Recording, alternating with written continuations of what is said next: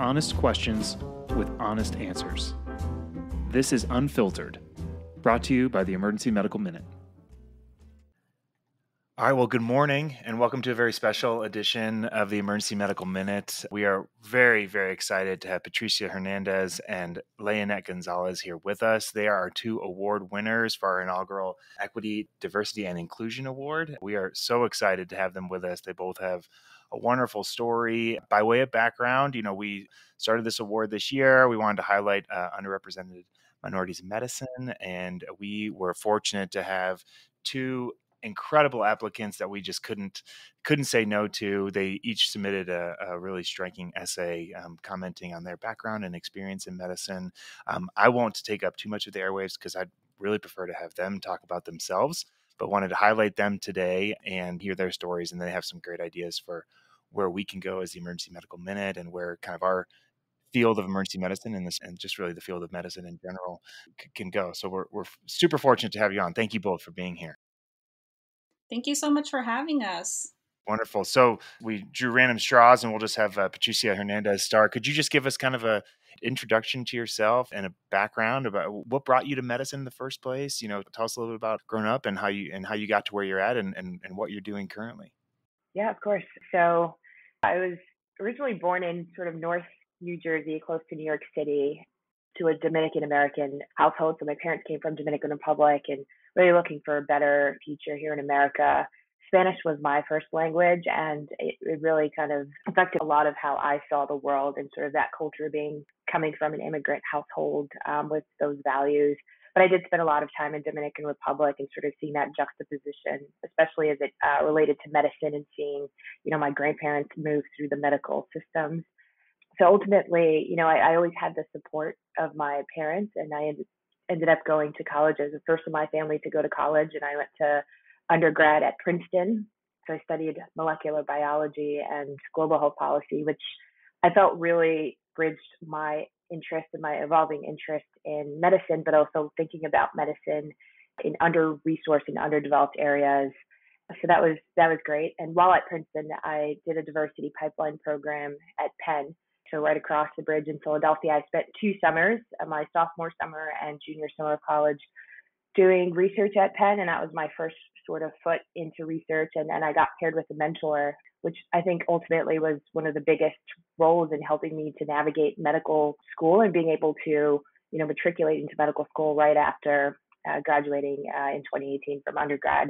So I've been in Philadelphia for the last like three and a half years, and Philadelphia has been amazing and great in teaching me, you know, what it really means to to be a physician to to treat a diverse patient demographic. Uh, there's a lot of poverty in Philadelphia, but there's also a lot of resilience and strength and a lot of amazing people. So I'm really excited to now be joining emergency medicine, which I think bridged all of my evolving interests. Like there's the aspect of you know seeing people sometimes at their most vulnerable moments, but also being able to you know feel like you can do something as a doctor for them that's more than just sometimes you know a physical treatment, but really you know meeting them where they're at. And I think that hopefully where I, where I see my career going is sort of bridging perhaps like research and policy to try to create system level changes and, and really advocate for patients at a greater level.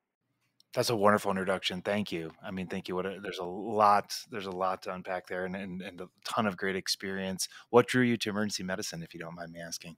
You mentioned the ability to take care of folks that are most vulnerable. I certainly identify with that. But as you went through your rotations, you know, is it that what spoke to you the most?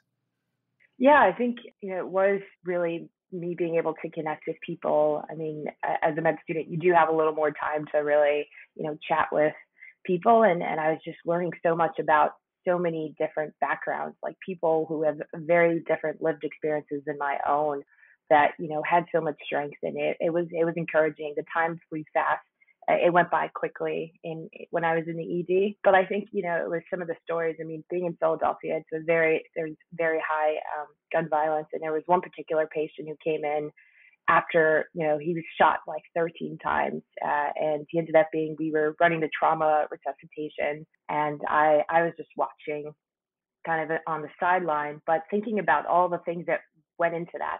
Ultimately, he ended up passing away, and later on, I found his story sort of in doing a chart review and saw he had been someone who came into the emergency department multiple times in the past for mental health and you know uh, suicidal ideation. And I just thought about like how how did we let him down maybe, or what what were opportunities that we could have maybe stepped up to the plate while he was in the ED prior before being discharged to maybe avoid you know his ultimate death or the way that he ended up passing away.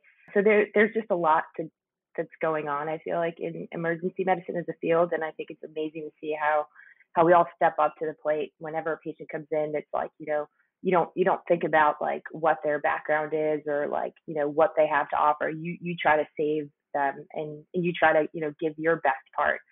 But at the same time, I think there's so much room for growth, and I'm excited to join a field where I can hopefully contribute to that growth and sort of, uh, especially as it relates to like health equity and thinking about how we can be better on that end.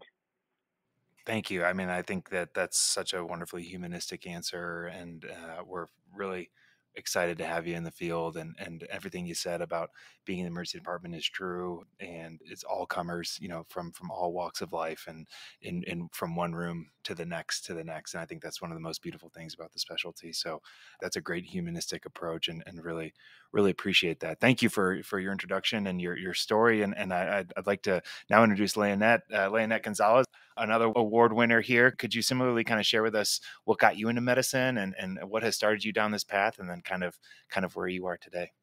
Yeah, of course. So I was actually born in Cuba. My parents immigrated here on a raft in 1994. Um, I was actually the youngest on the boat. I was 18 months old. Uh, so when we got here, you know, we started from nothing. So we've had a really interesting upbringing because even though I know that we started from nothing, I don't remember ever having a household where something was missing. So I've been fortunate enough to where I've had hardworking parents that have always supported all of my endeavors, regardless of how crazy they may be. So growing up with immigrant parents, kind of like Patricia talked about, you are kind of like in the middle of these two cultural differences, right? You go home, it's super Cuban. But then you go out into the world, it's very American. So it's this clash of cultures that gives us more of an understanding towards this more uh, global perspective, right? Specifically in healthcare, I actually don't come from a family that's in medicine. So, how did I get started? I have no idea. I just knew this is what I wanted to do. I remember growing up, a band aid made everything better. Didn't matter if you had a cut or not, it made everything better. Going to the doctor made everything better. And I was like, you know what? I want to make people feel better. Like, I want to have that impact. And then, of course, as I matured, I realized that medicine is fascinating. It's this great complex puzzle with so many moving pieces.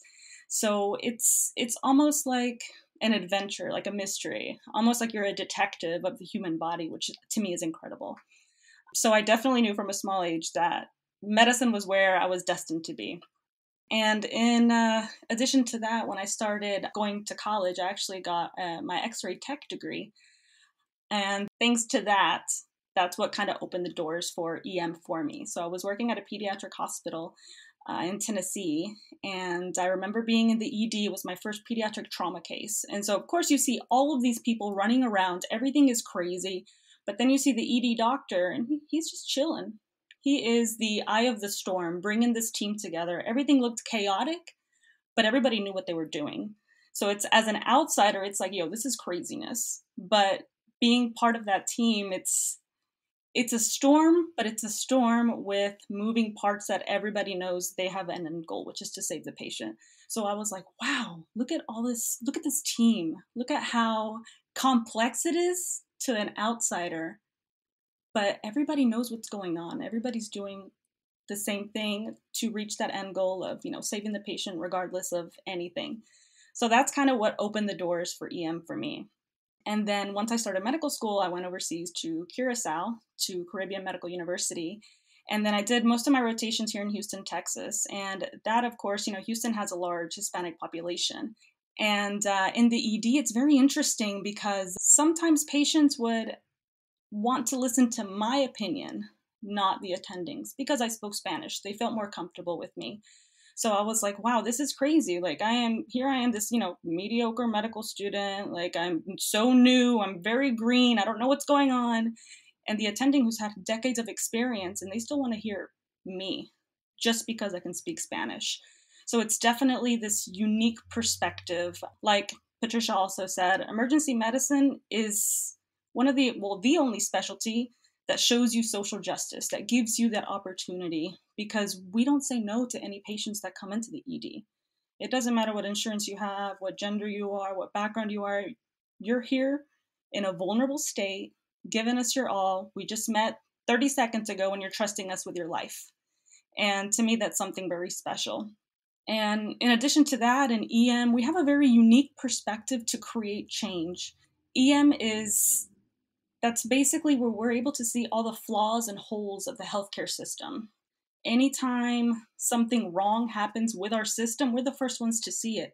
That unique perspective allows us to be the frontliners in creating change and maybe preventing an exacerbation of an event that could have been avoided.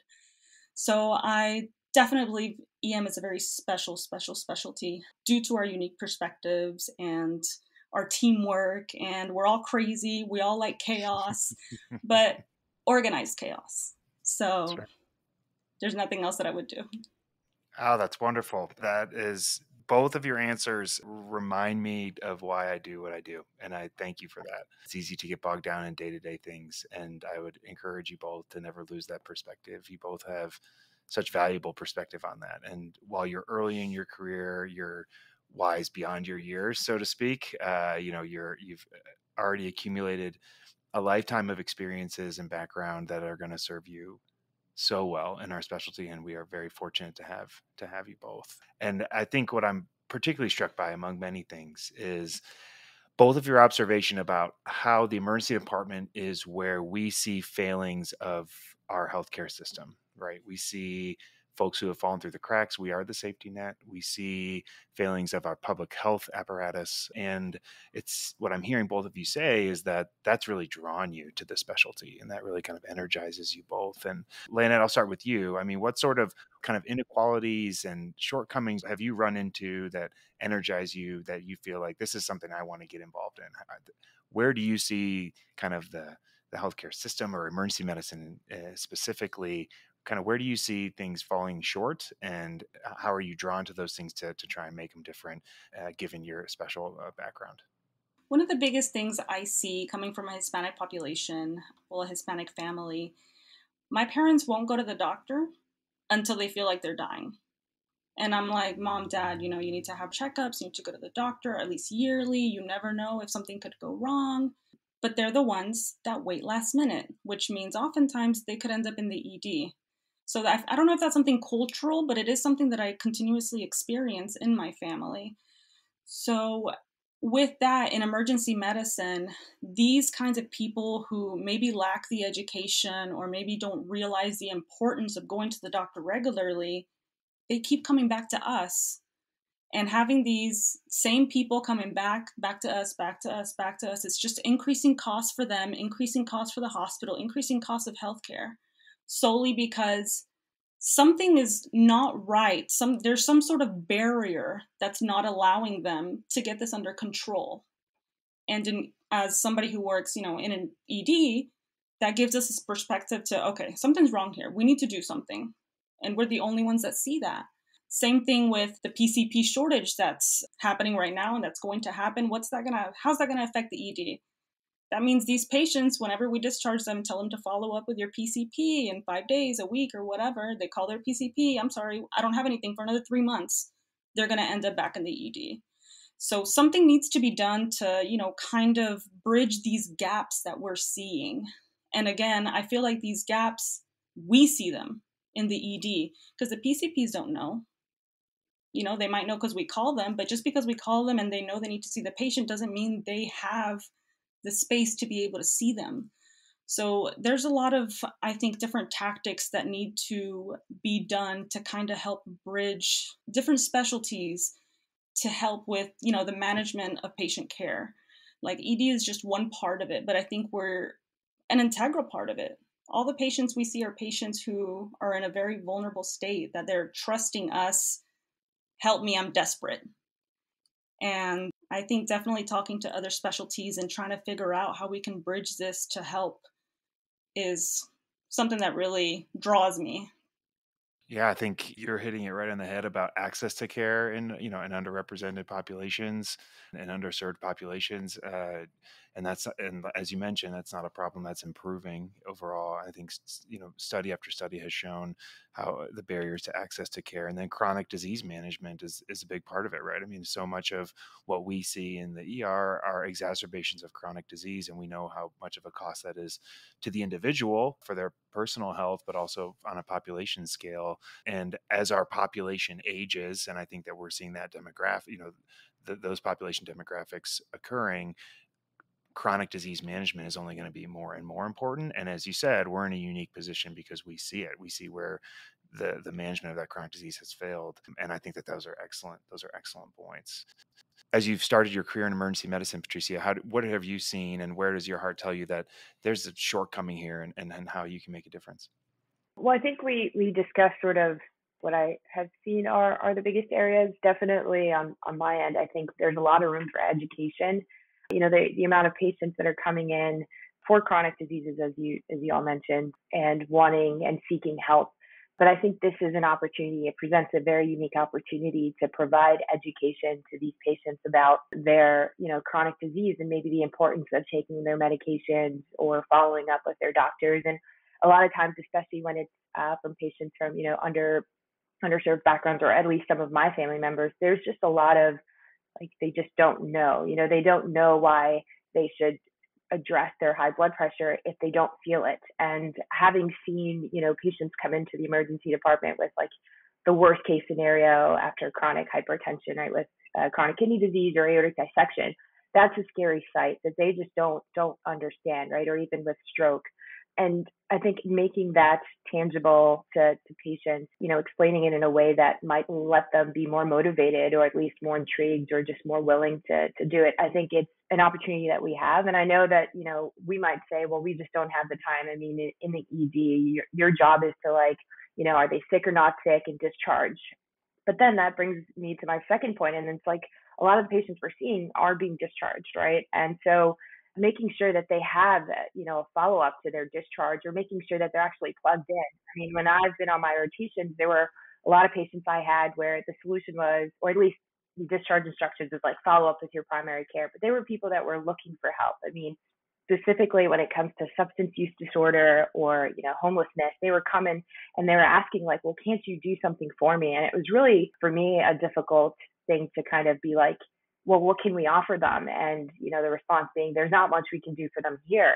And I do think that there is a transition happening, especially as we start to sort of think holistically about what our role can be as emergency medicine physicians in terms of really, you know, serving that need. And I think we are sort of shifting the way we think about what we do and don't do as emergency medicine doctors. And I and I'm hopeful that, uh, you know, with the support of hospitals and um, you know other people that are higher up that they can see the value in in you know maybe creating some sort of streamlined process or navigation process for patients that are going to be discharged because ultimately they're the ones that come back right? And so i think uh, as leyanet mentioned like the cost is actually not in our favor if we you know don't really address the root cause. It's like putting a band-aid over something and not really addressing uh, where the root is coming from. So i think being able to think more more critically about what we're doing with patients who are being discharged and they don't have a primary care doctor how to sort of navigate that and and making that something that's done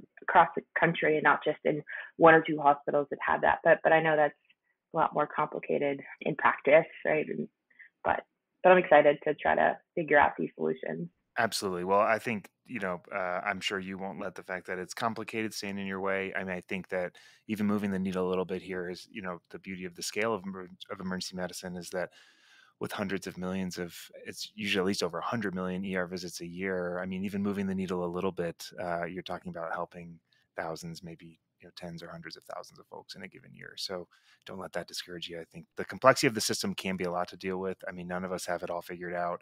It involves, you know, it's a touch point with you know policy and politics it's a touch point with social justice it's a touch point with the healthcare system and then inpatient and outpatient and, and there's a lot of layers but you know uh, encourage you both to find the the niche specifically within that you feel passionate and emboldened and then just to chase it because you can make a difference truthfully and, and we we need it you know none of us are happy with the status quo but you're the type of folks who can who can who can make that change uh, and uh, I, am excited to see what, what you both do. I think, Leyanet, I wanted to ask you specifically about your role um, as an EMRA uh, ambassador. Could you tell us a little bit more about what you've been doing with that and and uh, kind of what you've learned from that and, and the potential that you see in that role? Yeah, so I was actually selected to be the assistant vice chair of the EMRA Wellness Committee. This was last year, and it's it's a very amazing community. This community is full of all these people that are focusing on the well-being of resident wellness. And with the pandemic, we all know that now more than ever people are talking about well-being and mental health and having a positive environment. So we really work on that. We want to bring more advocacy and let people not be afraid to speak about their experiences, about, you know, going through bad times or going through good times. So this past year, we've actually worked with various committees just to kind of strengthen that wellness. And during ACEP's conference last year, we actually worked with a couple of committees just to kind of help to bring more awareness for well being. I personally worked with the pediatric EM community to bring uh, awareness to child trauma and child life skills that we can have as physicians. So that kind of brings in a different perspective of wellness. Uh, in addition to that, we're just very big into diversity as well. I've actually just been selected for this upcoming biennium to be the chair elect. So we really have some special things planned. Our biggest thing is just advocating and just creating the space of well being. You know, as EM physicians, we're oftentimes in chaotic situations, and we want to show that it's okay to take a breath it's okay to step back. It's okay to take days off if you needed to because it's important. It's part of your own health. It affects your patients, it affects your community, it affects your environment. So, being able to talk about these things, being able to say, you know what, I can't do this today, or you know what, I need help is okay. So I'm it's it's been incredible being a part of EMRA. EMRA has been phenomenal throughout my uh, you know my journey as a medical student and now incoming resident it's it's a really special community.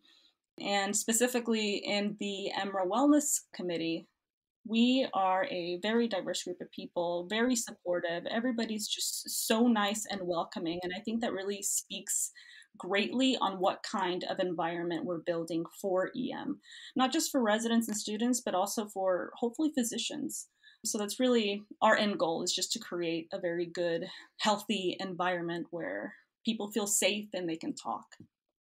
Thank you. Thank you for sharing. You picked up a heck of a time to to to join the wellness space. Uh, you know, as uh, as the pandemic hit and persisted over the last two years. So I commend you for that and congratulations on uh, on your next role. That's exciting. Uh, a lot, a lot to give as you transition from medical student to resident. I look forward to seeing all the all the great work that you do to to help folks to, um, as you said, say that it's okay that when they're not okay uh, and to think that they have a career and and a long you know to think longitudinally about sustainability in their careers on behalf of themselves on behalf of their families and patients and I, I really applaud that that perspective and I'm, I'm very thankful for it. So you know patricia i'll, I'll kick it over to you next. Uh, you mentioned early on about some of the research that you had been doing and i would just ask if could you tell me a little bit more about that about some of the research that you've done and you mentioned that you kind of saw your career being a combined approach of your clinical practice and some some of the research that you've enjoyed doing. Tell, tell us more about that and and what that's going to look like. Yeah, so I've had a lot of different research projects throughout medical school, and and you know because I ended up in emergency medicine kind of late on, so I've had you know research even in cardiology and pediatrics, and more recently now in the emergency department. But I think the overall theme for all of my projects or what I'm interested in is is centered around like health equity and sort of you know trying to look at the data and see where the gaps in care are and then you know then try to implement solutions and and whether that's in the form of like quality improvement projects or policies uh, that could be either hospital wide and or even like nationwide. Like i think where i envision my sort of research going or where i hope that i can really play a role in is isn't continuing that work. And so like right now the what I'm looking at is actually hypertension in the ED, which I know to a lot of people like they're like we, we just don't you know, that's not something we we treat here. And I know the like ACEP guidelines don't tell you they say to use your judgment and it's not something that's recommended. But, you know, because I am passionate about this, I see it as an opportunity. And so right now I'm looking at the data set and I'm trying to find out like who are the people that are presenting to the emergency department with like hypertensive vitals and are not on appropriate medications. And you know you can find that there's actually there there are people that come in multiple times with like similarly you know hypertensive vitals. And so you know one of the drawbacks people would say is like well that's not actually indicative of their true vitals. They they might not be hypertensive but but in fact they are and there's research that has shown that you know if they come in at least one time there's like a 60% likelihood that they will be hypertensive actually in a follow-up visit. So anyways i say that because now i'm like really interested in sort of looking at that data trying to better characterize who these people are and and maybe how we can try to create some sort of like intervention to try to address this problem because it is a big problem and we know that it has long-term consequences. And that's the part that i'm more excited about because i think it you know involves being creative and sort of thinking about potential interventions i think the biggest area is probably in the realm of uh, education and with technology, I think that's something that's very possible. You know, things as, as simple as like a QR code or like a video that they can watch while they're in the ED just to sort of address this. So uh, that's sort of the like my most current projects that I've I've had a lot of other things that have looked on on these issues of health equity and sort of been uh, trying to address it with some sort of solutions. No, that's wonderful. I, I think you know. Could you could you explain? I think it's such an important perspective, and and this this came up as part of your your essay too. Is that there is I'm thankful now that we're we're finally starting to get a really robust body of literature that ex, that really digs into some of these issues that you're mentioning, Patricia, about health equity and how just frankly how different of an experience folks of color have when they come into the emergency department. And I would suggest that that's probably true across all specialties, but for all the reasons that we've already talked about, you know, we come face to face with folks in their greatest moments of need, and we try mm-hmm. and connect with them and identify with them quickly, earn their trust, and then function in their absolutely in their best interest. And yet, I think it's safe to say that it's not the same experience for people of color, right? It's been alluded to in several of your answers about language. There's a disconnect there. You know, Leyanet, you mentioned folks reach out to you. They, they want to be heard and they feel like they're best heard in their primary language. And certainly we can understand that. So there's language components, there's social components, there's biases, right? And I think that's a reality of our practice. And we are all in this to take the best possible care of patients that we can. And if there's something that's holding us back from taking care of a specific mm. population, we should attack that and we should try and fix that. And that's part of what makes us who we are in the emergency department. And Patricia, what I'm hearing you say is that a lot of your work and a lot of your passion is digging into these issues and figuring out where things aren't fair and where they aren't equal. And, you know, I just wanted to pitch it to either of you and either of you can answer first, but, you know, does that type of approach, does that resonate with you? Are there specific examples or anecdotes that you can think about that where you can see where an individual's experience in the emergency department is not what we would hope that it would be as a result of health inequalities or as a result of the way that they look or the language that they speak. Do you do either of you have an, an, an experience or maybe an anecdote or, or, or, or, an interaction in the er that you can think of that kind of highlights that? And then if you're willing to share it i'd, I'd be super interested to hear. My example is not so much in the ed i mean there's one that's very i mean we first saw her in the ED because I was on my medicine service. But I think it speaks to a lot of the similar similar uh, kind of barriers we run into with language. And this patient in particular, she was Puerto Rican and only spoke Spanish, and she was coming in with like refractory ascites uh, because of like uh, fatty liver disease. And she's someone who would come in repeatedly to the emergency department to get uh, a paracentesis. And you know, when when she came in this on this visit, the the liver team doctors they're like, she comes here all the time. We know that she's not being compliant with her outpatient paracentesis, and, and they decided to take her off the transplant list. And I thought, you know, as a medical student, I initially kind of went with the grain, but then I was like, wait a minute, like there has to be more, you know, going on here. And so I took the time to to speak to her, and because I spoke Spanish, you know, I didn't need a translator, but I was able to just you know sit down with her and be like what is your understanding of what it means to be on the on the liver transplant list and like you know um, are you taking your medications like are there reasons that you wouldn't be and i ended up sort of understanding a lot more to the picture. Like she was mentioning how her daughter is the only one who's who's really able to take her to doctor's appointments, but uh, her daughter works a full time job. You know, the doctors where she's supposed to go to are also really far from where she lives. In addition to that, she said, you know, they don't speak Spanish and it's really hard to really understand it, but I 100% be willing to do whatever it takes to get this transplant. And so, I mean, there was just a lot there and it took just, you know, taking a pause and really trying to communicate with her and connect with her in her language to understand this. And ultimately, she was put back on the transplant list and transferred to a local hospital by her. Uh, but I think this is an example of how powerful it could be to really take that time, connect with these patients in their language. And, and it is a big barrier, especially in the emergency department when you know you have so many patients and you know there's not time to, to bring out the MARTTI and, and, and translate, or at least you think there there's not time, but sometimes that can actually be what changes sort of your decision points. So I think it's important to to think about that moving forward. And that's just one personal example of. Uh, and now when I come across patients that don't, you know, that speak other languages, um, I I make sure to get that translator out and really try to ask them the questions that are are important and and and really listen, even if it takes you know twice the amount of time. I think it's it's valuable. That's a great story. Thank you, Patricia, for sharing. I appreciate it. So, in a more general sense, I can't really think of a specific story right now, but I know I came across this multiple times in the ED where, like Patricia was talking about, taking the time to talk to them. I feel like a lot of these issues oftentimes are just lack of communication. They just don't know. Nobody has been able to sit down and say, hey, this is why you need to take your insulin every day. This is why you should take your blood pressure medication every day. And then you'll have the patients that say, yeah, but I feel fine okay well then let's let's educate you and let's tell you why it's not fine and even though you feel fine doesn't mean you don't need to take it so i do feel like our unique perspective in the ed can definitely again bridge these gaps in terms of communication in terms of education in terms of helping these patients understand. Oftentimes they come here and people from you know that are minorities don't even understand the healthcare system. So they come to the ed and then they get you know multiple bills of thousands of dollars and they're like i'm sorry i just went to the doctor. No you went to the ed which is completely different so again education is of such vital importance so i really agree with patricia we should definitely take the time even if it's 30 seconds even if it's a minute to just make them feel comfortable enough to be educated and to ask questions as well. I've also been in different situations where I feel like patients want to ask me something, but they're embarrassed for whatever reason.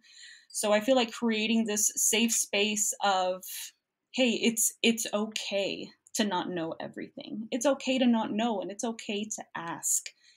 And going with that, I it was just a recurring theme that I would keep seeing do you have any questions? No. But oftentimes they get asked, Do you have any questions in a rushed way that they feel like, oh, he doesn't have the time to listen to me. She doesn't have the time to listen to me. So I'm not gonna, you know, ask any questions. And it's it's it's a little distressing because I just want to say, hey, you know, do you have any questions? Like, you know, the way you say it, just to create this safe space, just to create this understanding. Because even if you educate somebody and they're not willing to listen, you're wasting your time. So being able to make them feel safe and uh, create this this space, this inclusive, diverse space of understanding is important. So, and that's something that I kept seeing throughout my rotations. Yeah, that's a good that's a great observation. You know, I think w- what you're saying and what they're hearing are oftentimes two very very different things. And as you said, I think sometimes the tone inflection of your voice uh, when you say do you have any questions? It really sounds like you don't have any questions, right? Yep. You know, and I think there's a lot of reasons. There's a built environment for why people feel that way or speak that way, and and I think we need to understand understand that. But I think you, to your point, Leyanet, about creating the type of accepting and inclusive environment, you know, uh, it's built on that trust. And you mentioned that in the ER, it's our it's our job and frankly what i think is really exciting and enjoyable about, about, the job is is to gain someone's trust within that first 30 seconds of interaction you know understanding that they come when they come into the er they sure they come with the chief complaint and they come with the set of vital signs uh, and they come with a past medical history but they come with an entire lifetime of experience uh, and, and that comes you know with a number you know that comes with societal implications. It comes with social racial you know previous traumas that they've experienced inside and outside of the healthcare system and they bring all of that with them and uh, it's you know it's probably not possible to fully understand everything about them you know as a person but the closer we can get to that the better that we're going to be and the better that we're going to take care of them and i would i think it's safe to say that the more that you are able to connect with them you know from from a language perspective if you frankly if you look like them if you look and sound like them and they identify with you they are more likely to trust you and they're more likely to open up to you, to connect with you, to share with you some of those barriers to care that you guys have mentioned. And I think that's so important. It's so important that our workforce reflects the type of patients that we're serving. And that's such an important part of the future of emergency medicine. And and you both are such an important part of that. And I want to dive in if you would allow me what are some of the barriers to why our workforce doesn't look more like the patients that we serve. I think you both alluded to this in, in your essay answers is that, you know, I think we can all agree that this is really important, that patients have uh, providers, uh, physicians, and APPs and nurses and all members of their care team that can, that are able to connect with them. You know, from a language perspective, maybe they look similarly, have a similar background, but we I think we can all agree that that's important, but we're not there yet and we want to get there and what are some of the barriers that are keeping us from getting there i'd appreciate your guys' kind of thoughts or perspective on that I think part of the issue could be lack of realizing how important diversity is. And it's something that we should start in education, in medical school. Medical school is difficult to get into, yeah. But right now, like the percentage of medical students who are Hispanic hasn't really changed in the past 20, you know, 20 years. And that's something that we need to work on from the root of the problem. Because obviously, how are we going to have Hispanic physicians if we don't have Hispanic students? So, really, we need to kind of look at how the application process is going for medical schools, what's keeping Hispanics from applying. Could it be finance? Could it be they just don't know? Could it be the fear of, oh my gosh, I'm going to get into hundreds of thousands of dollars in debt and I don't want to do that? What what's going on that's keeping them from getting into medical school. And then looking at it from a physician standpoint, understanding backgrounds allows you to have a better understanding of the social determinants of health, right? And if you have healthcare providers who don't really understand this, who don't realize the importance of having a diverse workforce and how that can impact not just your patients, not just each other, but society as a whole, that's that's important in addition to that, I think fear is also part of it. Speaking from a women's perspective, because we're also a minority, it's almost like we're afraid to apply to something out of fear of being told no. I guess that can also correlate with anybody, but I don't know. I think I read a research paper once that said that men were more likely to be able to be told no, like they were more willing to hear that. But for women, it's not something that we're used to. And plus, being in a male dominant field, that gives us an even even more of a fear. Uh, so that could also be a reason why. Uh, it is a little infuriating to see different organizations, different programs, different schools talk about how important diversification efforts are, but then you look at their leadership, everybody looks the same. So, okay, we all want to be diverse, but what are you guys doing to diversify. So um, I definitely feel there's a multitude of issues, a multitude of barriers, and I do believe that it is rooted in understanding. By understanding why it's important to have diverse leaders, I think people would be much more willing to look at things a little differently. Thank you. Really appreciate that perspective, really. Yeah, I don't know if I have too much more to add, but I will say I think cost is definitely a big reason. I think for a lot of marginalized populations, you know, it just happens to be like they are also maybe oftentimes from a disadvantaged background economically. And so you think about all the cost that goes into medical school, taking the MCATs, preparing for the MCATs. And then once you're in medical school, right, there's all the different step exams and the board exams and paying for the for the tools to prepare for those exams. So cost is a huge you know, deterrent in that in that end. I think it's also likely that you know there's not a lot of physicians or healthcare providers in their families, and that and that for me has also been challenging. I'm lucky that I have mentors that have been able to help me navigate that world, but I think that's something that a lot of students who are underrepresented maybe don't have. Like they don't have parents or uncles or aunts who can sort of guide them through, you know, thinking about the medical field and, and their career trajectory. So I think that's a big uh, problem right now. And I think also when it get to the residency level, I know there's a lot of programs that are doing a lot on trying to recruit a diverse class of residents, but then you look at the faculty and sort of the leadership roles, and that's not reflective of that. Um, and so it's difficult to want to go to a place where you feel like you're not going to, you know, even see yourself in the leadership of that. And if you if you do hope to ultimately, you know, become a leader, which I think we all want to at, at some point, then you want to to see that it's possible and you want to see that support. And so I think it's it's about increasing the pipeline at all, you know, at all points, all the way from when you're, you know, not even in medical school and starting to really put that uh, as an option. Like have these students think like, hey, I could do this, and then try to help with the navigating the process along the way with mentors, whether that's through you know classes or uh, networking opportunities or you know opportunities to do research and really get involved and then also like at you know at the attending and and you know higher mm-hmm. level to have that be a reflection of of who they can be. And i think this is all going to help to produce a more inclusive environment. It's not just like diversity but it's also being inclusive and and feeling like you can thrive in, in an environment. And that's harder to to do. I think right now it's harder to achieve.